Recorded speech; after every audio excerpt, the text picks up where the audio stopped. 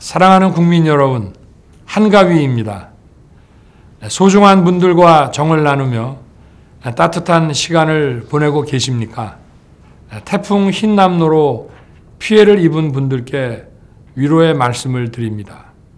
태풍과 수해로 피해를 입은 분들께서 하루빨리 일상으로 돌아가실 수 있도록 최선을 다하겠습니다. 어렵고 힘든 시기마다 우리는 희망을 나누고 함께 힘을 모아 위기를 극복해 왔습니다. 경제가 어려울 때 더 고통받는 서민과 사회적 약자를 넉넉하게 보듬는 그런 사회를 만들겠습니다. 자기 목소리조차 내기 어려운 어려운 분들을 배려하고 챙기는 진정한 약자 복지가 필요합니다. 정부와 의료기관 그리고 이웃이 힘을 합쳐 사회 안전망에서 어느 누구도 소외되는 분들이 없도록 하겠습니다.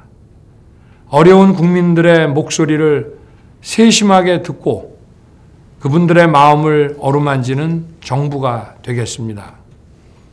추석 연휴에도 각자의 자리를 묵묵히 지키며 소명을 다하고 계시는 분들이 있습니다. 보이지 않는 곳에서 희생과 헌신으로 일하며 우리 사회에 등불이 되어 주시는 모든 분들께 감사와 존경의 마음을 보냅니다. 국민 여러분, 명절만큼은 일상의 근심을 잠시 내려놓으시고 소중한 분들과 마음을 나누는 시간을 함께 하시기 바랍니다. 희망의 보름달을 품는 추석 연휴가 되시기 바랍니다. 감사합니다.